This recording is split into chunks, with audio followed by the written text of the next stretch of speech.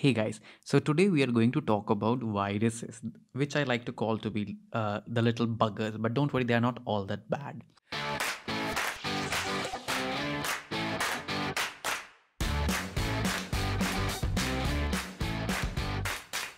When we talk about viruses, we talk about virion, which is a complete virus particle. Now, what does complete mean? Meaning it will have a body, so called, I'll explain it later, and the genetic material. Now, what is this genetic material? We'll again talk about that. First, let's talk about size. So, it can be around 10 to 400 nanometers, which is almost like a small bacteria. So, they can be big viruses. Now, most viruses, they have the genetic material, obviously, which contains all the code that is there.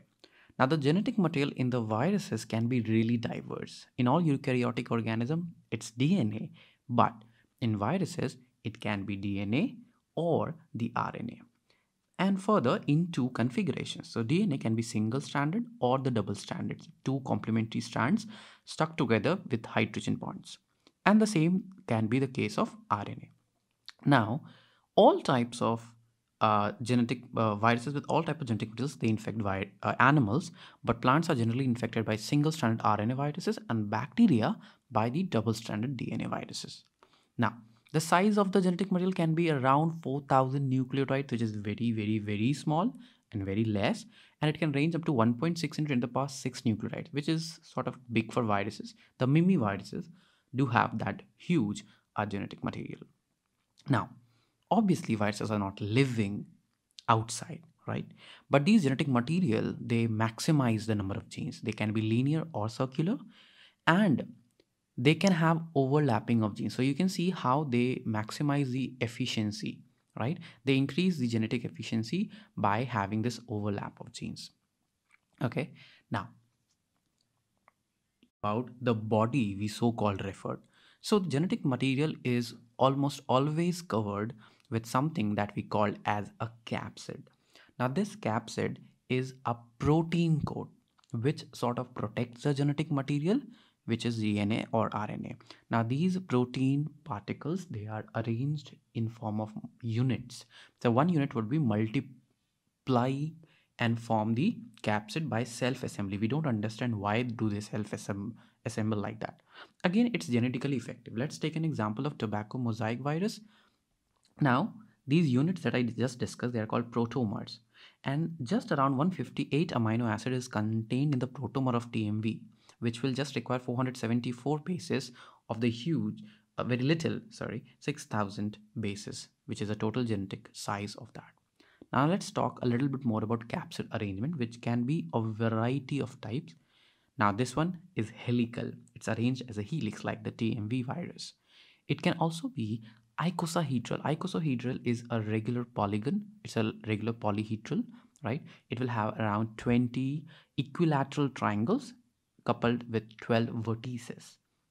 The third can be a complex arrangement which can be a mix of the two or simply an arrangement which does not fit the profile right? Uh, one of the popular example here is bacteriophage uh, so it's like a mix of helical and icosahedral. We'll talk about bacteriophages in a different video altogether. So it has a head and tail as you can see right now okay? So that's all about capsids. Now also we should remember what are capsomeres so capsomeres are nothing but the uh, plate like things that form these capsids and they are made up of protomers maybe five or maybe six. This example for icosahedral is uh, the herpes virus. Now we'll talk about the last layer which not all but many viruses have. That's called the envelope. Now, envelope is made up of lipid and carbohydrates, and it's basically uh, there because when the viruses escape the host cell, they acquire it from the host cell itself. It's not made by the enzymes uh, that uh, the viral produces. But viruses do have these spike proteins, which we call uh, coming out of the envelope uh, many a times. Now, these spike proteins are made up of units we call peplomers.